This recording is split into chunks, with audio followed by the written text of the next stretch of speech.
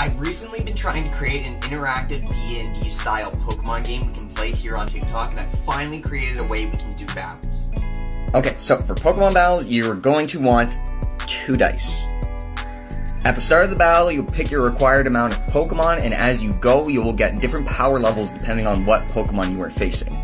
Let's say I started off the battle with a Honedge, a Ghost, and a Steel type, and I'm going up against a Tyrunt, a Rock, and a Dragon type. Let's say Tyrunt is the next gym's ace, so he's gonna have a slightly higher power level, let's say around 10.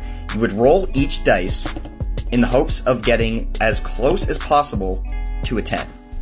Let's say we got an 8 there right? So we're a little bit short. But, say because Honedge is a steel type and has the super effective advantage over a rock type Tyrunt, you would add an extra 3 points on top of that. So our 8 points gets turned into 11, and we are just able to beat Tyrunt with our Honedge.